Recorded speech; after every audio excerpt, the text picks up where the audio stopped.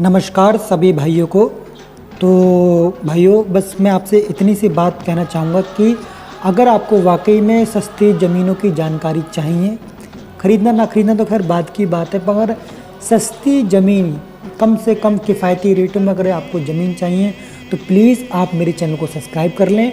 और जैसा कि आप वीडियो में देख रहे हैं कि मैं आपको जो है हर तरीके की ज़मीन जो है सस्ती भी कमर्शियल भी एग्रीकल्चर भी ठीक है? और मीडियम रेट की भी ज़मीन आपके सामने लाता रहता हूँ। तो दोस्तों अभी जो वीडियो में आप जिसको ज़मीन देख रहे हैं ये ज़मीन जो है आ, आपके ढाई लाख रुपए पर बीघा के हिसाब से है क्योंकि इसकी जो शहर से ज़्यादा दूरी नहीं है ठीक है? और चक्रूट जैसा कि आप देख रहे हैं कितना काफ़ी चौड़ा चक्रूट है।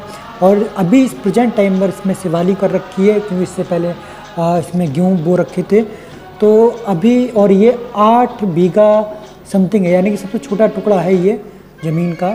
तो अगर आपको आ, कोई भी ज़मीन चाहिए हो बरेली में एग्रीकल्चर या फिर कमर्शियल या फिर जो सिर्फ़ मतलब कमर्शियल और एग्रीकल्चर दोनों चाहिए हो तो प्लीज़ आप मुझसे कांटेक्ट कर सकते हैं। मेरा नंबर जो है स्क्रीन पर शो हो रहा होगा।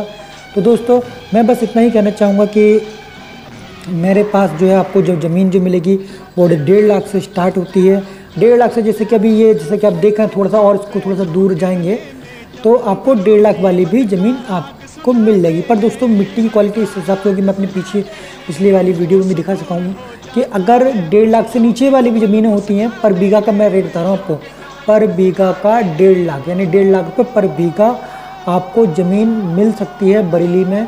सिर्फ़ बरेली की बात करो बरेली से अगर आप आगे जाएँगे बदायूं शाहजहाँपुर तो यहाँ पर इससे भी सस्ती मिल जाएगी पर वहाँ पर कुछ रीज़न है जिसकी वजह से वो जो है ज़मीन थोड़ी आ, सस्ती मिलती है। जैसे कि वहाँ का कन्वेंस इतना बेटर नहीं है या माहौल थोड़ा सा जो है कहीं ना कहीं लोग थोड़ा सा उसको इग्नोर करते हैं तो आ, उस हिसाब से जो वहाँ की ज़मीन जो है थोड़ी सस्ती पड़ जाती है और गंगा भी नदी भी है वहाँ पर इस वजह से वहाँ की नदी सस्ती ज़मीन सस्ती है। दोस्तों, अगर आपने मेरे चैनल को सब्सक्राइब ना करा तो प्लीज़ आप मेरे चैनल को सब्सक्राइब कर लें और मैं फिर मिलूँगा। बाय